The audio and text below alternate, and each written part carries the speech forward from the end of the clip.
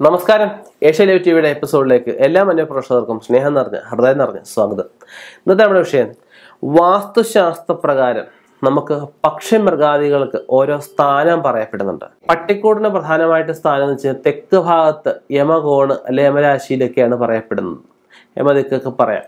അതുപോലെ തന്നെ പശുത്തൊഴുത്ത് ഗോശാലയ്ക്ക് പറയാം. ഗോശാലയ്ക്ക് വടക്കും കിഴക്കും ഉത്തമമായിട്ടാണ് പറയപ്പെടുന്നത്. മധ്യമായിട്ട് പടിഞ്ഞാറും പശുത്തൊഴുത്തൊക്കെ എടുക്കാറുണ്ട്. പിന്നെ തെക്കോട്ട് പശുത്തൊഴുത്ത് അങ്ങനെ എടുക്കാറില്ല. അതൊക്കെ ഒരു അധമായിട്ടാണ് പശുത്തൊഴുത്തിനൊക്കെ പറയപ്പെടുന്നത്. പിന്നെ ഈ ഒരു ജീവികളുടെയും കൂട് കന്നിമൂല ഭാഗത്ത് വരാൻ പാടില്ല. കന്നിമൂല വെച്ച് സർപ്പങ്ങളുടെ ഏരിയ ഏറ്റവും ശുദ്ധമായിട്ടുള്ള സ്ഥലമായിട്ടാണ് തെക്ക് പടിഞ്ഞാറ ഏരിയ എന്ന് വെച്ചാൽ ഏറ്റവും ശുദ്ധമായിട്ടുള്ള സ്ഥലം. അവിടെ ഒരു കൂടുകളും വരാൻ പാടില്ല. പിന്നെ ഇപ്പം പലവിധ വളർത്തു ജീവികളെ എക്സോട്ടിക് പെക്സായിട്ടും ഒക്കെ പലരും വാങ്ങിച്ച് വളർത്താറുണ്ട്. ചിലതിനെയൊക്കെ വീട്ടിനകത്ത് വെക്കാറുണ്ട്. കഴിവതും ഇങ്ങനെയുള്ള ജീവികളെ വീട്ടിനകത്ത് വളർത്താതിരിക്കുന്നതാണ് ഏറ്റവും നല്ലത്. നമുക്ക് ടെറസൊക്കെ ടെറസിന് ചുറ്റും നെറ്റൊക്കെ അടിച്ചിട്ട് അവിടെ വേണേൽ വളർത്താം. അതിന് പ്രത്യേകിച്ച് സ്ഥാനം നോക്കേണ്ട ആവശ്യമില്ല. ഈ പട്ടിക്കൂട് ഞാൻ പറഞ്ഞു കന്നിമൂലയ്ക്ക് പാടില്ല എന്ന് പറഞ്ഞു. അതുപോലെ തന്നെ വർജിക്കേണ്ട ഒരു സ്ഥലമാണ് അഗ്നികോണം എന്ന് വെച്ച് കഴിഞ്ഞാൽ. അഗ്നികോണം എവിടെയാ? നമുക്ക് തെക്ക് കിഴക്കേ മൂല അഗ്നികോണം കന്നിമൂലയുടെ ഒരു പരിധിയുണ്ട്. ആ പരിധി വിട്ടിട്ട് അഗ്നികൂടൊരു പരിധി വിട്ട് നമുക്ക് ഈ പട്ടിക്കൂടൊക്കെ വെക്കാം.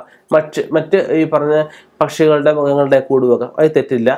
വടക്ക് വടക്ക് പടിഞ്ഞാറ് ദിക്ക് ഈ പട്ടി ഈ പറഞ്ഞ പട്ടിക്കൂട് മറ്റുള്ള ജീവികളുടെയൊക്കെ കൂട്ടിന് വളരെ ഉത്തമമായിട്ടാണ് പറയപ്പെടുന്നത്. ഗോശാലയ്ക്കും വടക്ക് പടിഞ്ഞാറേ ദിക്ക് നമുക്ക് മധ്യമായിട്ടൊക്കെ എടുക്കാറുണ്ട്. അപ്പം നമുക്ക് വടക്ക് കൃഷ്ണയുടെ വീടാണെങ്കിൽ വടക്ക് പടിഞ്ഞാറേ മൂലയ്ക്ക് പട്ടികളെ മിക്കവാറും വീടിന്റെ രക്ഷ രീതിയിലാണ് നമുക്ക് വെക്കുന്നത്. അപ്പം നമുക്ക് വടക്ക് പടിഞ്ഞാറേ മൂലയ്ക്ക് നമുക്ക് വെക്കാം. അത് തെറ്റില്ല. പക്ഷേ നമുക്ക് കിണറിന്റെയും കൂടെ നോക്കണം. കിണറുമായിട്ട് നമുക്ക് ഏഴ് മീറ്ററിന്റെ എങ്കിലും വ്യത്യാസം വേണം. പക്ഷിമൃഗാദികളുടെ കൂട് നമ്മൾ വെക്കുമ്പോൾ കിണറുമായിട്ട് ഏഴ് മീറ്ററെങ്കിലും മിനിമം ഒരു വ്യത്യാസം വരുത്തിയേ വെക്കാവൂ. അല്ലാത്ത പക്ഷം നമുക്ക് ഇതിന്റെയൊക്കെ എന്തെങ്കിലുമൊക്കെ രോമങ്ങളൊക്കെ പറഞ്ഞകത്ത് വീഴാനൊക്കെയുള്ള സാധ്യതയൊക്കെ ഉണ്ട്. അപ്പം അങ്ങനെ കിണറുമായിട്ട് ഈ കൂടൊക്കെ വെക്കുമ്പോൾ വളരെ ശ്രദ്ധിക്കേണ്ടതായിട്ടുണ്ട്. അതുപോലെ തന്നെ നമുക്ക് പൂന്തോട്ടം അങ്ങനെയുള്ളവയൊക്കെ വെക്കുമ്പോഴും ഈ കൂടുമായിട്ട് ചെറിയൊരു വ്യത്യാസം വരുത്തി വെക്കുന്നത് നന്നായിരിക്കും.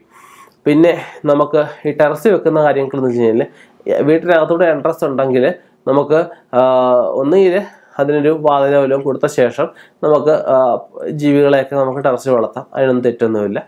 പ്രധാനമായിട്ടും ജീവികൾ ഞാൻ പറയാൻ എല്ലാവർക്കും അറിയാം ഇതിന്റെ അവശിഷ്ടം അല്ലെങ്കിൽ അല്ലെ പക്ഷികളുടെയൊക്കെ കാഷ്ടമൊക്കെ നമുക്ക് നിർമ്മാർജനം ചെയ്യുന്നതാണ് കാര്യം. വൃത്തിയാണ് ഇതിനകത്ത് പ്രധാനമായിട്ടും. പറയപ്പെടുന്നത്. ഇത് നമുക്ക് തീരെ പറ്റുന്നില്ല എന്നുണ്ടെങ്കിൽ വാസ്തുമണ്ഡലമൊക്കെ തിരിച്ച ശേഷം വാസ്തുമണ്ഡലത്തിന്റെ പരിധിക്ക് പുറത്തായിട്ട് നമുക്ക് ഈ കൂടുകൾ ഒക്കെ നമുക്ക് കൊടുക്കാം. അതിനകത്ത് നമുക്ക് വിധികളൊക്കെ പറയപ്പെടുന്നുണ്ട്. അപ്പം ഇങ്ങനെ പറഞ്ഞ പോലെ ഗോശാലയായാലും പക്ഷിമൃഗാദികളുടെ ശാല അല്ലെ പക്ഷിമൃഗാദികളുടെ ഒക്കെ കൂടുകളൊക്കെ സ്ഥാപിക്കുമ്പം ഞാൻ ഈ പറഞ്ഞ കാര്യങ്ങളൊക്കെ ശ്രദ്ധിക്കുക. ഇനിയും ഇതുപോലെയുള്ള വ്യത്യസ്തമായ വിഷയങ്ങളുമായിട്ട് കണ്ടുമുട്ടാം. നിർത്തുന്നു. നന്ദി. നമസ്കാരം.